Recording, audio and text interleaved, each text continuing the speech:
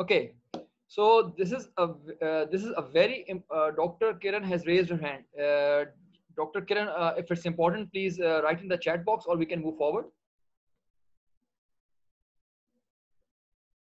Dr. Kiran has raised her hand. Okay. Okay, so now we are going to talk about preparing the manuscript for final submission. And let me tell you, it is one of the most important things that gets neglected while we are preparing our manuscript or while we are training for how to write a manuscript. So now you must have realized that there is a value for pre-planning before you start writing.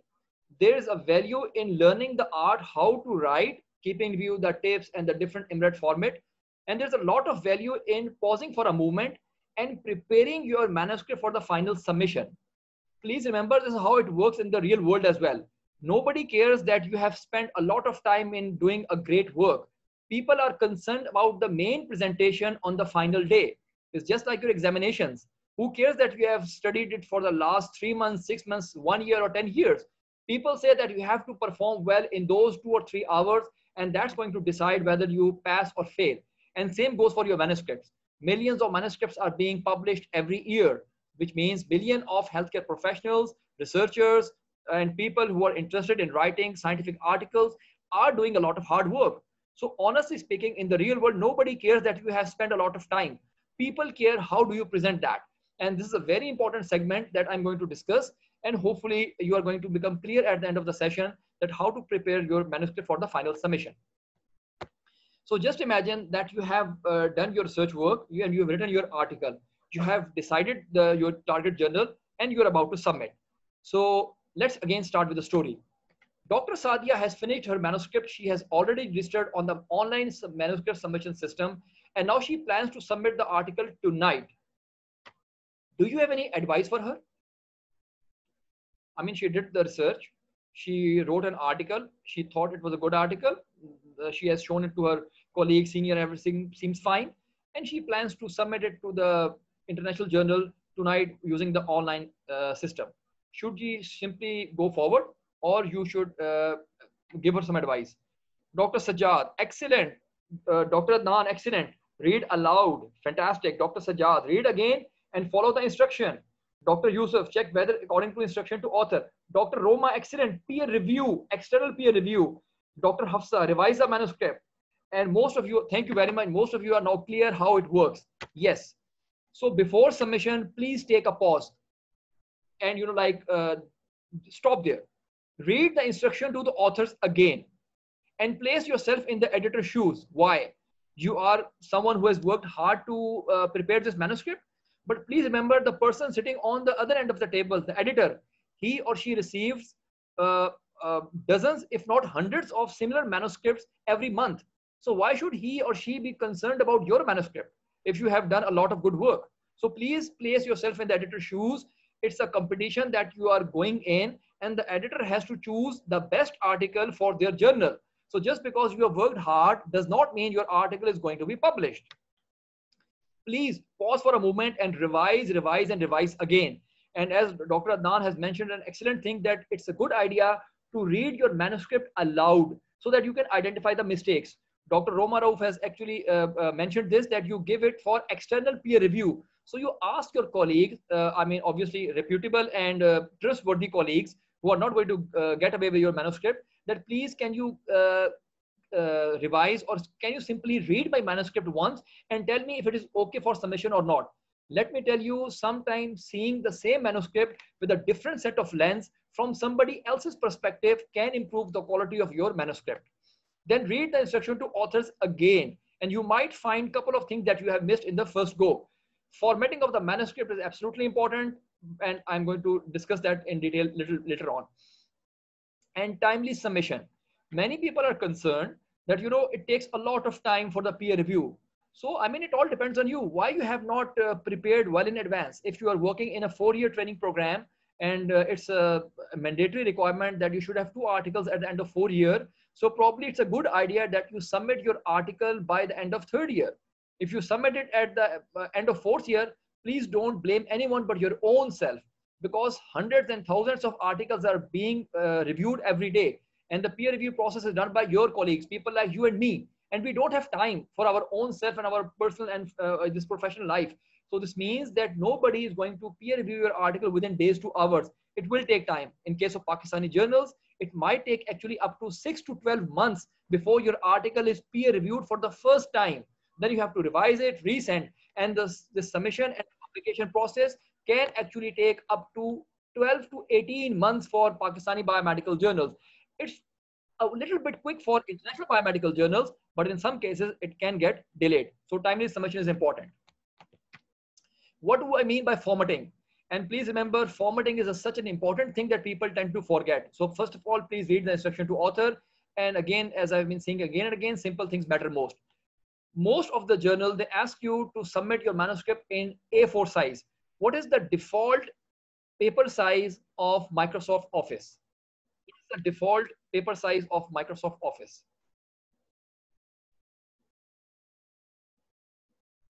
Thank you, Dr. Sajjad, uh, Dr. Yusuf, and Dr. Fawad. The default size is letter. It's not A4. You have to change it to A4, number one. Line spacing. Almost every uh, journal would mention this and people tend to forget this. I'm not sure for what reason. That line spacing should be double line space because it makes easier for the peer reviewer to read through the article. Font should be 12 Arial or Times New Roman. Almost every journal in the world, English Biomedical Journal, they ask you to write either in the Arial font or the Times New, Times New Roman font.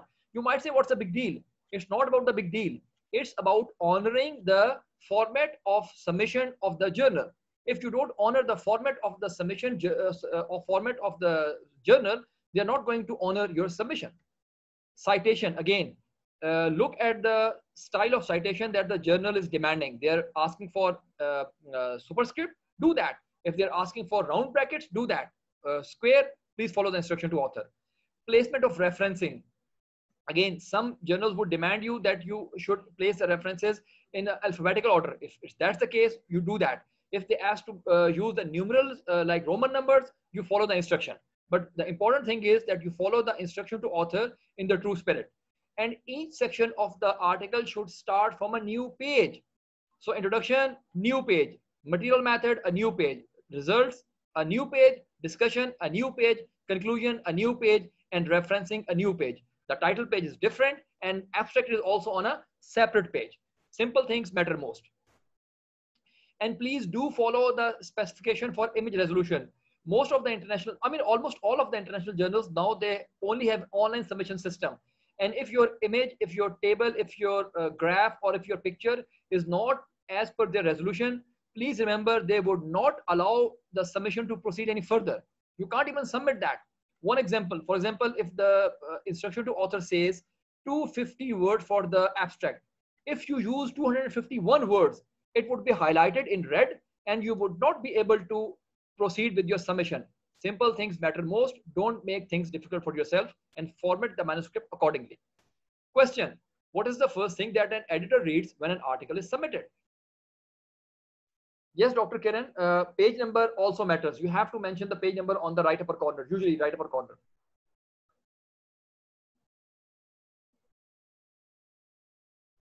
Dr. Kiran, number of pages doesn't matter. It is the number of uh, word count.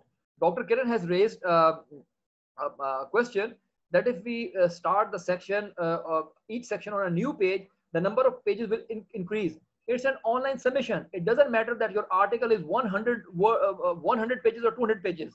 If it is within the prescribed word count limit, it's okay. So you don't have to bother about the number of pages. You should be bothered about uh, the word count limit. Title and abstract. Okay, you are pretty close. No, no. What is the first thing that an editor reads when an article is submitted? uh, Dr. Roma, you are excellent. Dr. Yusuf, excellent. Dr. Amara, cover letter, cover letter. So the first thing that an editor reads when an article is submitted is a cover letter. So please, a very important advice, a take home message for all of you. Please write an impressive cover letter. Imagine you're uh, just come out of this research mode. Imagine yourself that you're applying for a job. You simply go and you give them your CV without telling them the context that why you are giving them the CV and you expect them to call you for an interview, it might not even happen. So whenever you are submitting an article or a manuscript, please take some time and write an impressive cover letter because that might be the only thing that the editor reads. And again, I'm going to re-emphasize that writing an article and publishing it is a, a, sort of a selling your product that you have done something good and you want the people to uh, acknowledge that thing. So how do you do that? Uh, apart from the principles that I told you, an impressive cover letter is a very important part of that. We'll do a quick exercise and probably this concept becomes easier for you. Look at this uh, sample letter A. It says, Editor-in-Chief, British Journal of Urology, dear editor, I would be grateful if you would consider our wonderful manuscript for publication in your esteemed journal. All of the authors have made a substantial contribution and we confirm that it has not been published previously. Yours sincerely, ABC. This is a sample cover letter for a manuscript. Okay. This is a, another sample letter B of the same one, improved version. Look at this. Professor Richard Smith, Editor-in-Chief, BJU, subject, Dear Professor Smith, the enclosed manuscript confirmed the superiority of laparoscopic nephrectomy over open surgery for renal tumors under 6 centimeter. Although you have recently published a small series from the USA reference, our UK-based study is the large one. And this and that. All of the author have made a substantial contribution to the collection of data, analysis, manuscript preparation. We confirm this and this and confirm that I have all, full access to all of the data and I bear the final responsibility for the decision to submit this manuscript for publication. This manuscript has not been submitted to any other journal simultaneously. Question. Oops. Which one of these two letters is better? Oops. Sorry, okay. Look at this sample letter A.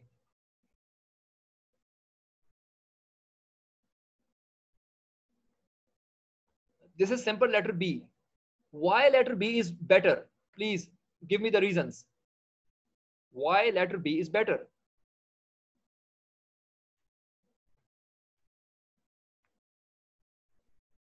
Subject is mentioned. Good, Dr. Hafsa. Uh, Sandhya, well defined. Ex Dr. Aisha, explanatory mentions everything. Doctor, subject is underlined. Okay, underline kare na kare, but subject mention karna is important. Excellent, Dr. Yusuf. It is addressed to editor by name. What is the importance of this thing? Dr. Yusuf, can you explain that further? What is the importance of addressing the editor by name? Can anyone uh, answer this question? What is the importance of addressing someone by name?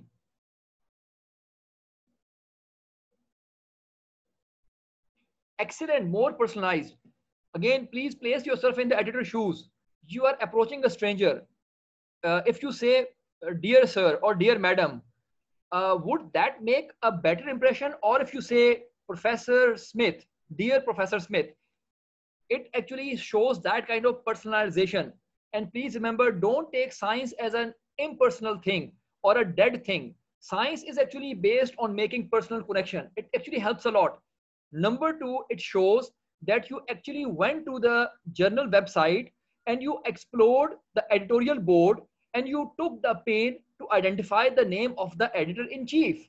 This means that you took the extra effort and this extra effort does count. Number two, you have clearly provided a subject to the editor and you have told him or her that whether this is a new submission or a revised submission.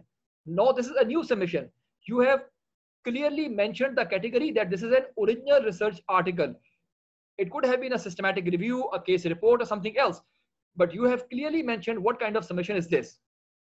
Number two, this person is actually selling his product or his research. He or she is very confident and he is actually making a comparison between the previously published research and the research that he is publishing. And he's actually telling it upfront that why my uh, uh, published research, uh, my research is going to be superior to the already published research on this topic. And apart from that, that, that the author is giving a sort of a guarantee and uh, and uh, telling the uh, editor clearly that you know there's no ethical issue with this submission. I have the data with me and you can ask me for the data whenever you like. So this is how you make a powerful first impression and sometimes these things do matter a lot and increase your chances of getting published in a good biomedical journal. So simple things matter most